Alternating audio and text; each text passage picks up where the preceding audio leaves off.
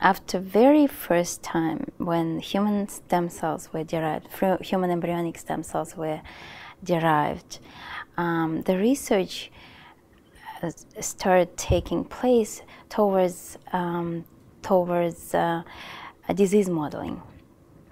So uh, we, we started to learn how to differentiate these cells to different lineages.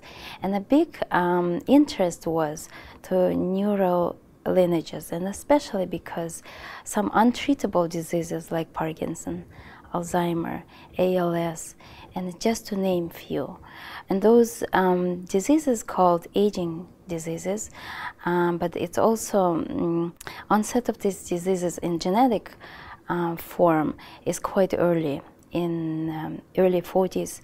So um, with increasing age, average age of population, um, these diseases become epidemic for not just developing country, but pretty much for all countries. And it does um, affect um, really um, cost effective um, because um, the care for these diseases is very expensive.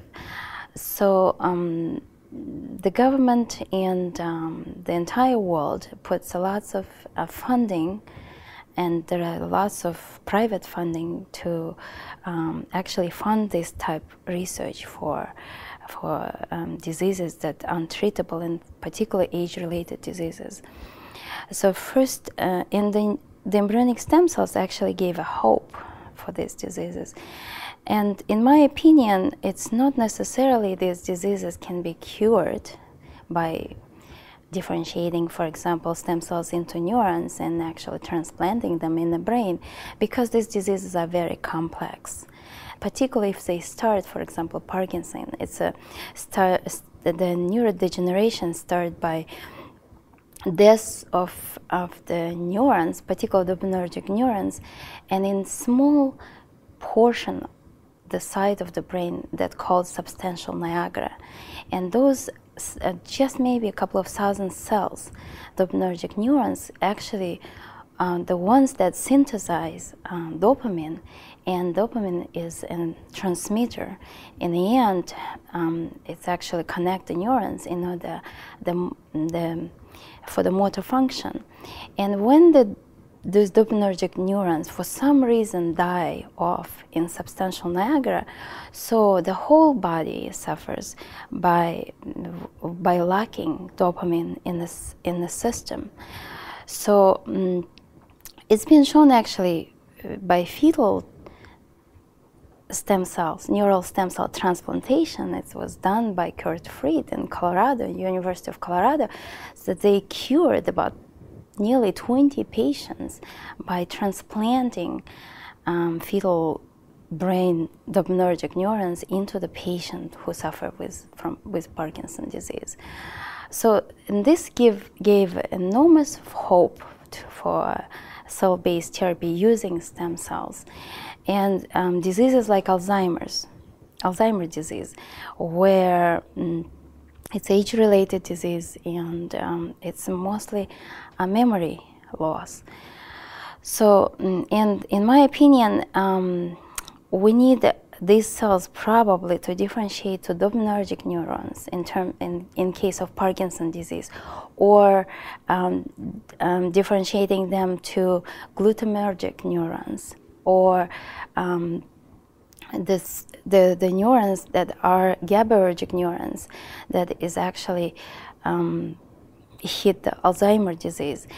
And we can actually develop drugs, um, and it's probably um, understand the mechanism of these diseases in, in, in laboratory um, by doing a basic research using these cells because there is no um, available source of these cells in order to study these diseases in, um, in vitro. And there's no uh, human neurons being tested ever for, to develop uh, in pharmaceutical companies to develop the drugs for, this, the, uh, for these diseases. And we really hope that, uh, and it's been done, the lots of uh, research in understanding the mechanism of these diseases been done already by using uh, mouse model, transgenic model um, of, of Parkinson or Alzheimer or ALS, and we used um, we already understand a lot about these diseases, but physiology between the mouse and human is quite different.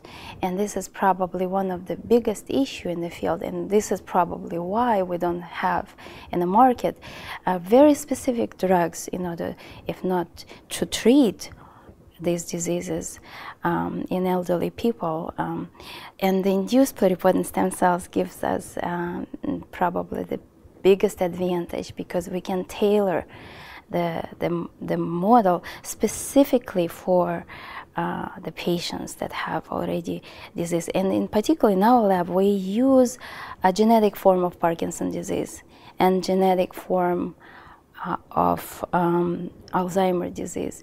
And we take the skin biopsies from the families that carry mutations and, um, and have a history of developing early onset of these diseases. And by having a mutation, for example, um, in Alzheimer's disease, the mutation, so there is known three genes that are mutated in, in genetic form of Alzheimer's disease, and it's a APP, it's a amyloid precursor protein mutation in that gene, or uh, mutation in presenilin 1 and presenilin 2. So we, we took those cells into the lab and we reprogrammed them into the stem cells and then we differentiate them into neural stem cells and then we differentiate the neural stem cells to spe specific type of neurons that been actually um, and, uh, hit by the diseases.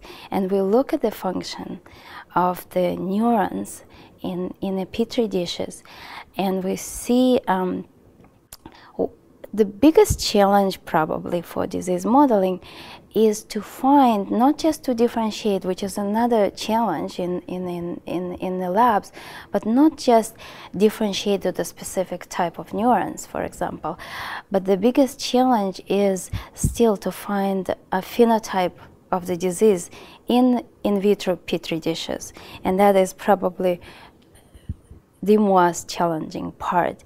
And if we do have a phenotype, then we can actually use um, the screening, small molecule screening technology, high throughput screening in order to actually change this phenotype to normal, from disease to normal. And if the, we do find it, then we can actually transfer those small molecules to pharmaceutical company to develop drugs. And I think that's probably, at the moment, it's the biggest advantage of using IPS technology to, do, to model the diseases.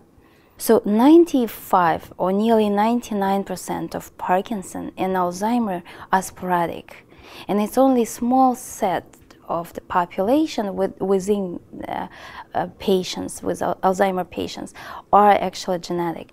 But if we take um, a sporadic, which we do take sporadic patients biopsy and reprogram them, we might not see because the genetic form of the Alzheimer disease is differs from sporadic by about 20 to 30 years of onset of the disease. The start of the disease is much earlier in genetic form.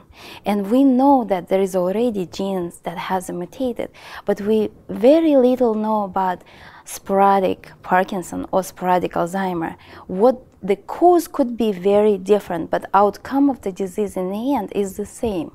So in case of genetic form of Parkinson and Alzheimer, we know specifically what mutations they carry. So it's, it's probably best for us to study um, genetic form because we will see much earlier, we will see the phenotype.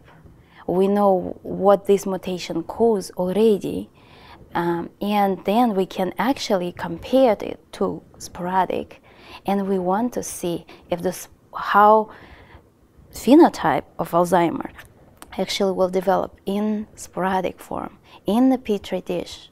I think that's um, will be it is a challenge, I understand, but it's also a benefit to use both at the same time. So the biggest problem probably is so we have to have very specific differentiation protocol to a certain type of, for example, not just um, to neural lineages, and this is actually doesn't uh, doesn't work all always. Uh, and a pure population, for example, of the desired cell type.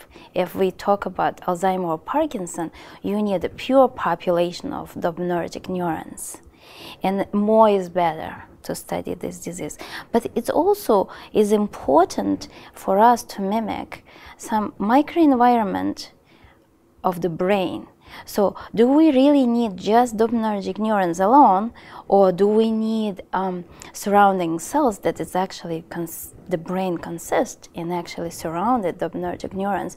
So what is the biggest interaction between those cells? So if the signaling pathway between an micro environment between the neuron, different types of neurons, and not just the neurons, but other neuronal types like microglia or um, astrocytes, oligodendrocytes, because they, the brain or central nervous system or peripheral nervous system consists with lots of other type of cells, and how important those cells are for developing, for example, specific cell types. And I think um, that's probably will be the biggest, um, I would say, challenge in in vitro system. But we, we try to understand it and make a co-culture system in order to mimic the, the microenvironment of, of particular cell or tissue. A future, I, as I can see, it can be understanding the mechanism of the disease because it's a human system in in vitro in vitro system. It's a human. Physiologically, it's a human system. It's a human neurons. Um, so I do believe that this is will be the perfect and only system probably that will be used to understand a human uh, development and development of the diseases. And what I see in the future, that will be very specific drugs will be developed in the nearest future, will be developed by using this system. In the further away, I'm hoping that it can be uh, applied as a therapeutic, so it can be in transplantation therapy. I can't say for sure that I am actually believing to this too much, but um, but for certain disease, I believe it can. For spinal cord injuries, I think it would be much more, um, not easy, I would say, but much more faster application compared to the complex diseases like Alzheimer's. But for those diseases like Alzheimer's and Parkinson, I think the biggest benefit, as I can see in the future, is very specific drug screening platform.